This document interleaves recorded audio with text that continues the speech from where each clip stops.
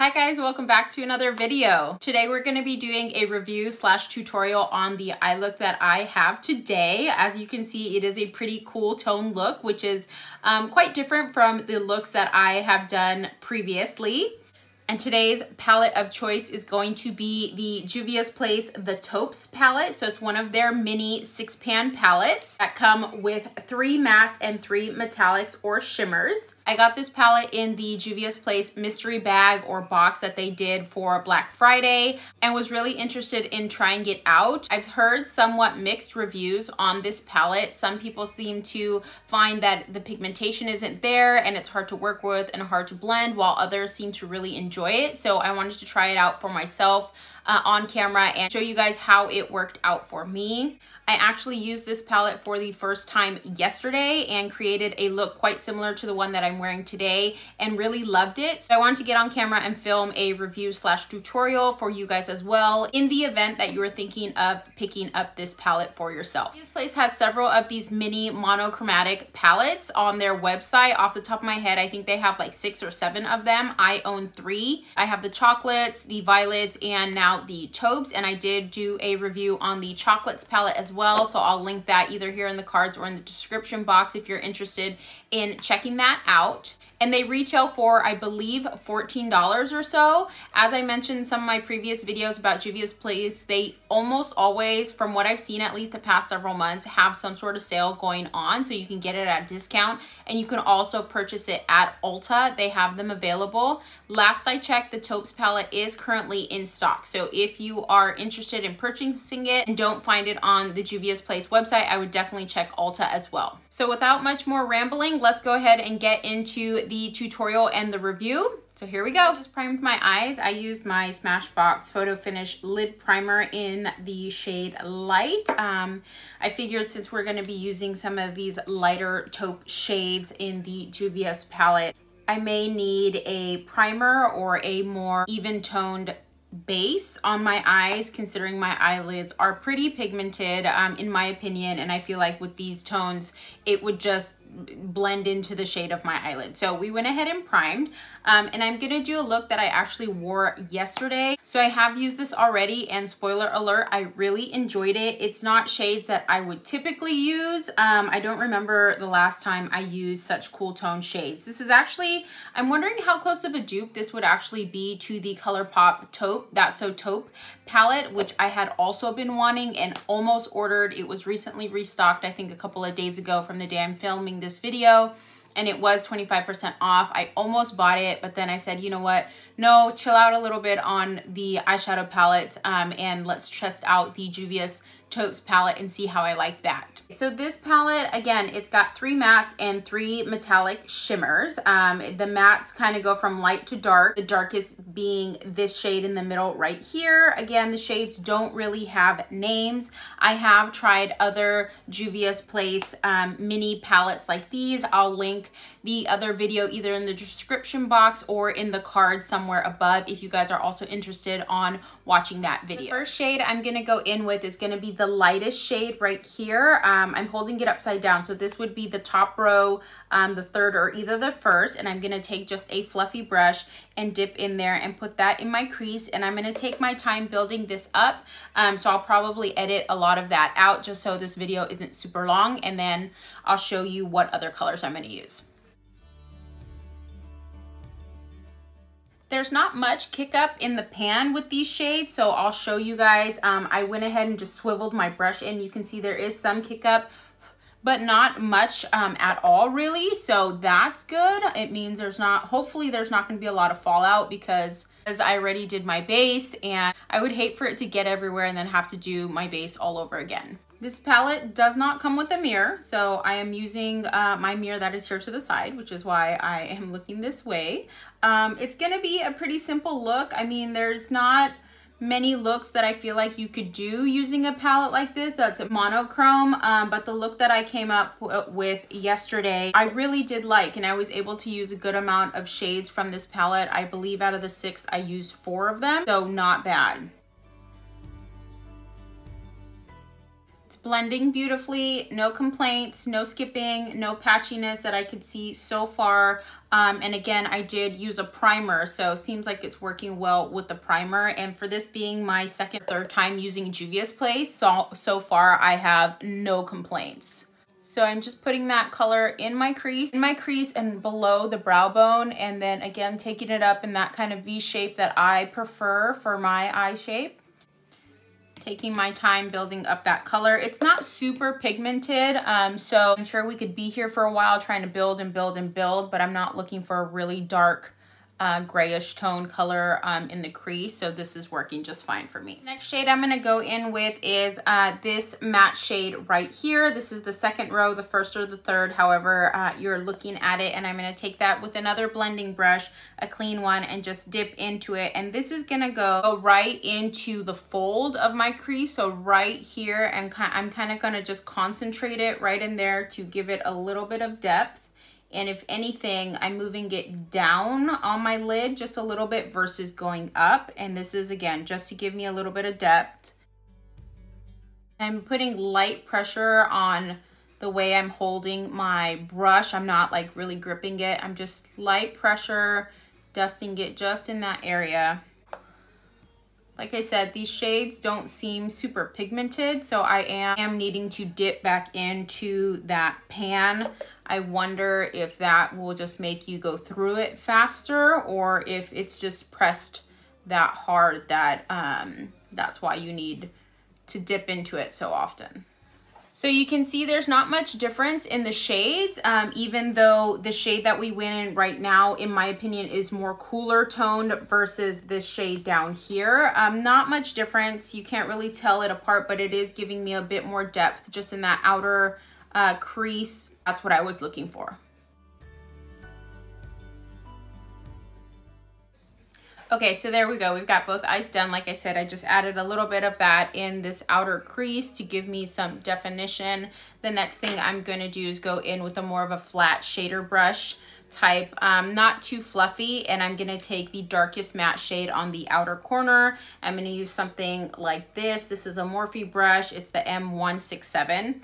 And I'm dipping into this middle shade right here, which is a matte, but does seem to have um, a little bit of shimmer in it but I don't necessarily, I didn't remember noticing that when I used it yesterday and you can't really see much of it on the brush. So I think that just might be added in for blendability versus getting the actual shimmer. So I'm gonna tap off my brush and I'm just gonna tap it on the outer corner of my eye.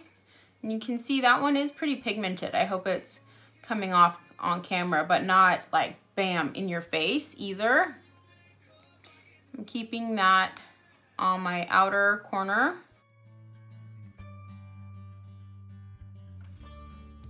so we've got that there and the next thing I'm going to do is I'm going to go with a clean blending brush. Um, this one is stained but it is clean. I'm going to go back into um, the first shade that we use, this matte shade to go into the crease and just kind of um, clean up this outer area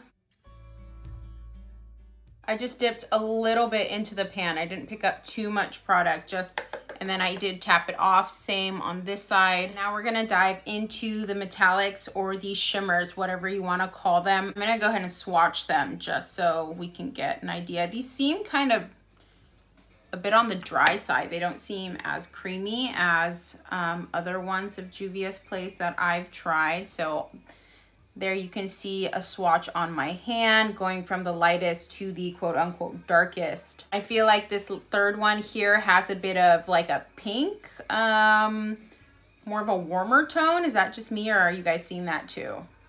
And the one in the middle seems to have like purple reflex. Tell me if you guys see that as well or, or if that's just me imagining things.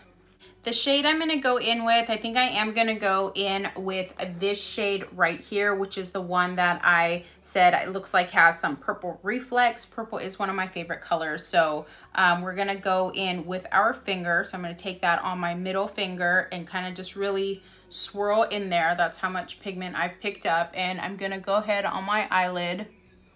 Ooh, wow.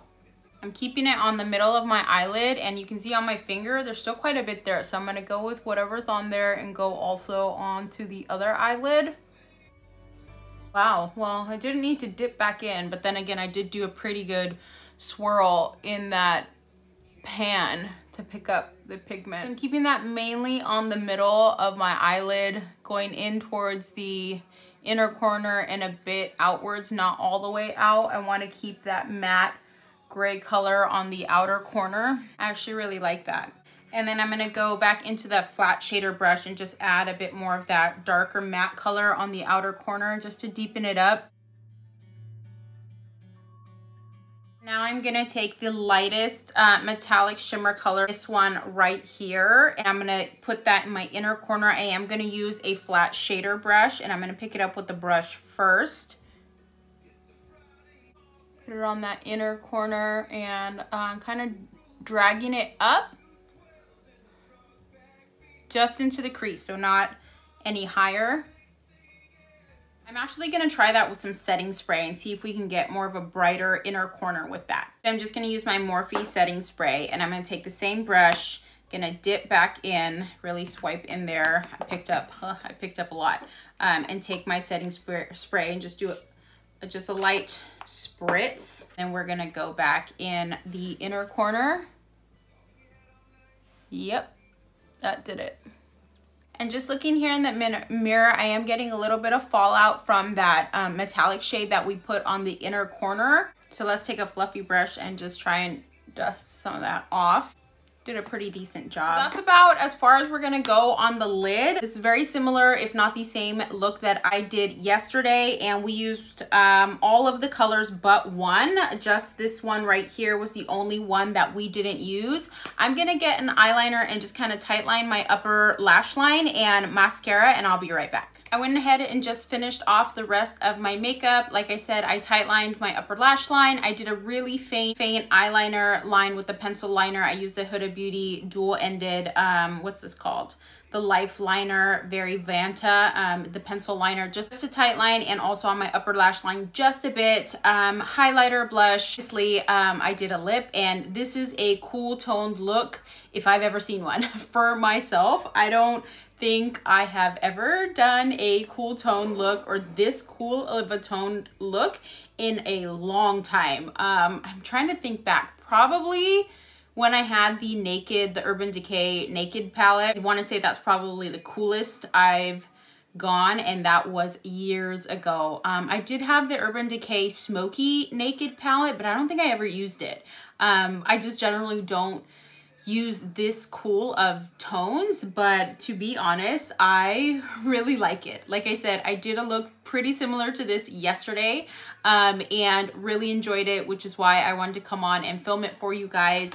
In terms of my thoughts on the Juvia's Place palette, I like it. Um, I do get that this is probably not everybody's go-to everyday palette. Most of us these days are into warm tones or in general. Trust me, I love my warm tones as well. It's nice every once in a while to step out of your comfort zone and try something new and you never know, you might be surprised. I was pleasantly surprised with this. Um, also with the lip, I did more of a cool tone lip. I used a ColourPop lip liner in the shade BFF3 and then I also used the Hank and Henry um, lipstick that I got in a BoxyCharm a couple months ago. This was also cool tone. So uh, for the price on the Juvia's Place palette, if you're interested in these types of tones, I think it's a good price point. Like I said in my previous videos regarding Juvia's, they usually have some sort of sale going on. So I believe these retail for $14 and you can get them anywhere between 30% up to 50% off. So uh, for seven bucks when it's 50% off if you're gonna use it. I think it's a good deal. Metallics are a bit dry in my opinion compared to other Juvia's Place metallics that I've used. They still performed beautifully. I did use the setting spray with that lightest metallic color just to give it a bit more oomph. But again, most of us do that with a lot of our other metallic or shimmer shades. If you made it this far into the video, thank you for watching. I really appreciate it. Go ahead and give me a like and please, please, please subscribe to my channel. I really appreciate it and I'm trying to work really hard on growing uh, my followers. Go ahead and hit that subscribe button if you haven't already. For those of you that are returning viewers or returning subscribers, welcome back. And if you are new, my name is Leila. I did film get to know me video a couple of weeks back. So if you're interested in getting to know me more and just kind of how I started and where I started, why I started this YouTube channel, go ahead and check out that video. I'm gonna try and leave it in the card somewhere or again in the description box. Thank you all for watching and I'll see you in my next video. Bye.